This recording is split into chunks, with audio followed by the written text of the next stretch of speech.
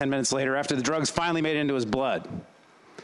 Without FOIA, without the Freedom of Information Act, without Sunshine, we don't find these things out. We don't find out what happened. You can't even figure out why it went wrong or anything about it. These are the kinds of things we're trying to hide. These letters I have from the drug manufacturers, that's what they want to hide. Folks, how many editorials have you read saying this bill is a good idea? I'd love to hear if there was a single one. We've had 10 we've had 6 editorials now, papers all across the state about 5 or 6 more op-eds. There hasn't been a single public call from anyone for us to vote for this bill. Not a single one.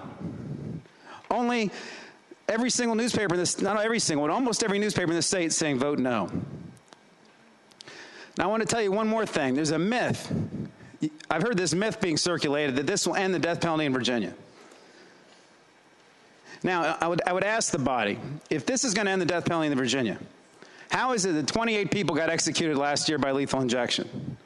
How is it that I think it's 12 so far this year have been executed? If the death penalty in this country is, is so jeopardized and it's so hard to find these drugs, why is it that states all around the country, including Virginia, have been able to execute 40 people with drugs in the last, in the last 16 months? We either have a Department of Corrections that doesn't know how to find these drugs, or somebody's not being honest with us. These drugs, there are ways to do this if you want to. Most of these other states have changed their protocol. It's not very hard. And if you read the Attorney General's opinion, one of the things he says is we can change our protocol if we'd like to. That there's ways to deal with this. My father always told me, my dad's a lawyer, and I practiced with him for uh, 20 years now. What he always told me is there's two kinds of lawyers. There's ones that'll tell you, tell you every single problem with what you want to do, and there's another lawyer that'll tell you how to solve it. And I think if the Department of Corrections would put their mind to it and not be worried about about uh, all this oversight, that God forbid that the people give them, they could actually figure out a way to do this. The last thing I want to say, Mr. President, is I think this goes right to the heart of our government.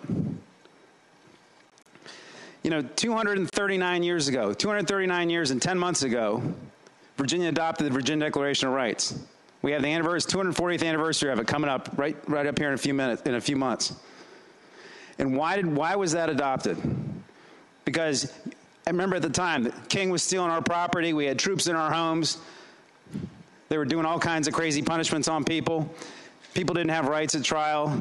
People didn't have the right to freedom of speech, religion, press, none of those things. And we adopted that Virginia Declaration of Rights. We've come a long way, a long way so that the people have a right. The people have a right to see what their government's doing. The people have a right to information so that they can cast the knowing vote, so a legislature can provide proper oversight. And it's all because we have that Declaration of Rights. Why do we have that? Because we clothe our government with an extraordinary amount of power. Only the government can take your property. Only the government can take your liberty. Only the government can take your life. And with that awesome amount of power, with that awesome amount of responsibility, comes oversight. It comes transparency. It comes public, the public knowing what you're doing. The only reason we want to do this is to shield government agents from doing something that makes us very uncomfortable, to shield corporations from doing things that make people uncomfortable. Why would we shield them from that? I want to quote you somebody I probably never will quote again, Justice Antonin Scalia.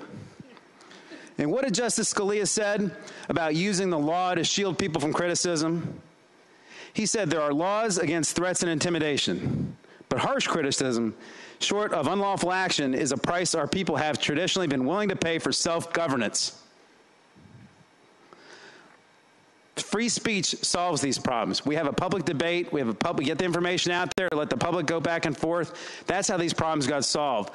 But we don't close our eyes put a, shale, a veil of secrecy over everything, throw, the, throw Virginia into the snake pit of litigation and secrecy in order to uh, keep doing, uh, to, to, solve, you know, keep doing something which, which uh, makes us uncomfortable. Mr. President, we need to vote, vote this down. Executions will go on in Virginia. We can deal with it next year. There's no urgency. We just need to vote this amendment down. Thank you.